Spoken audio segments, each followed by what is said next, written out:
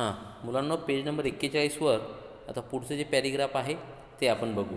याच्या अगोदर आपण काय पाहिलं? की ती मुलगी सांगते की आई किंवा बाबा यांच्यापैकी कोणी माझ्यासोबत जर असलं तर मी त्यांचा हात पकडते आणि त्यांचं बोट धरलं की मला भीती वाटत नाही भीती गायब होते. मग आता पुढे. असं. मग आता नाही.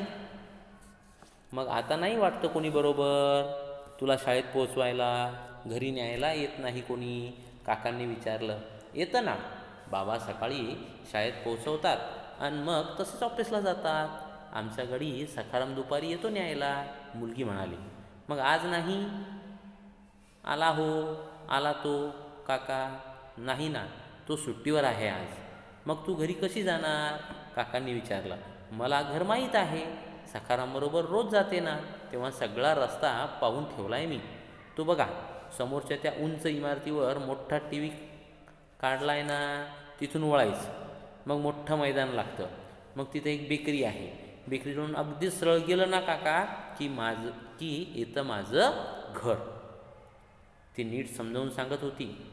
त्या दिटुकलीच्या बोलण्याची त्या काकांना गंमत वाटत होती. नाव काय बेटा तुझं? त्यांनी मध्येच विचारलं. माझं नाव आहे मृणालिनी. पण सगळे मला मिनू म्हणता. काका तुम्ही पण मिनूच म्हणा. बर. पण काय ग मिनू? आईनं तुला एकटंच यायला सांगितलं आहे नाही हो एकटं नाही.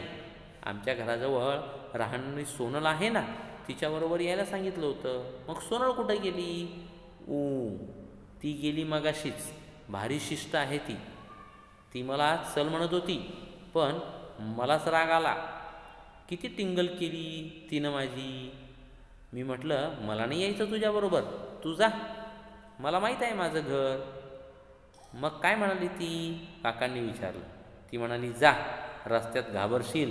मग येईल तुझी आई मला विचारायला. मीनू म्हणाली पण तुला तर रस्त्याची भीती वाटते ना.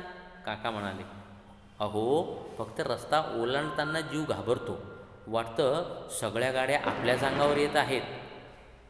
ते म्हणाले काका तुम्ही मदत कराल बोट धराल माझं फक्त पलीकडे जाण्यापुरतं.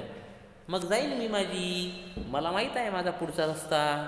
मीनू उत्साहाने बोलत होती आणि तिच्या आवाजात आजर्व होतं. काकांनी काकांची छाती मात्र धडधडू लागली होती. आता बघा याच्यात का आपण काय पाहिलं? की ती काकाला म्हणते की मला तुम्ही तिथपर्यंत सोडून द्या. मग काका तिला म्हणतात की बाबा तू रोज अशीच जाते का? मग ती म्हणते नाही नाही. माझे बाबा मला सोडतात. ऑफिसला मग तिकडे तिकडे चालल्या जातात. आणि आमचा जो गडी आहे सखाराम तो मला घ्यायला येतो. मग तो आज आला नाही का? ती म्हणते नाही. आज तू सुट्टीवर आहे. त्यांचा ड्रायव्हर. सखाराम म्हणजे त्यांचा ड्रायव्हर. मग तू कशी जाशील? तुला रस्ता माहीत आहे का? मग ती म्हणते हो. आपण जसं आपलं घर ध्यानात ठेवतो कोणत्या बिल्डिंगहून उजवीकडे वळायचं कोणत्या बिल्डिंगहून डावीकडे वळायचं हे सगळं तिने लक्षात ठेवलं होतं. तिनं तिच्या घराच्या सगळ्या खुणा सांगितल्या. मग काका म्हणाले अगं ते सगळं खरं आहे पण तू एकटी कशी जाणार? तुझं नाव काय आहे? मग तिथनं तिचं नाव सांगितलं मृणालिनी. मग तिला सगळे मीनू म्हणतात. हे तिने सांगितलं. मग तिची एक मैत्रीण होती सोनल नावाची. ती मादेच शाळा सोडून चालली होती दुपारी. तेव्हा ती म्हणाली चाल ते ही गेली नाही. तिनं का गेली नाही तर हिनं तिची खूप टिंगल केली. टिंगल करणे म्हणजे मजा घेणे मस्करी करणे. तिला खूप त्रास दिला. त्याच्यामुळे ती गेली नाही. मग ती ती सोनल काय म्हणाली आता बघ रस्त्याने जाताना कशी घाबरशील तू. आणि असं म्हणून ती तिची चालल्या जाते. मग ही काय म्हणती मीनू की मला काका फक्त तुम्ही रस्ता ओलांडून द्या. मग मी माझी बरोबर जाते. आता मीनू उत्साहात बोलत होती परंतु काकाची छाती मात्र धडधडू लागली होती. मग का धडधडत होती काकाची छाती? ते आपल्याला पुढच्या व्हिडिओमध्ये आपण पाहणार आहोत. हे जे दोन व्हिडिओ मी आज तुम्हाला टाकले हे शुद्धलेखांच्या वहीवर व्यवस्थित चांगल्या अक्षरात लिहा अक्षर चांगलं काढा तो मजकूर समजून घ्या त्या काकाचं आणि त्या मेनूचं संभाषण समजून घ्या आणि व्यवस्थित लिहून काढा. समजलं सगळ्यांना?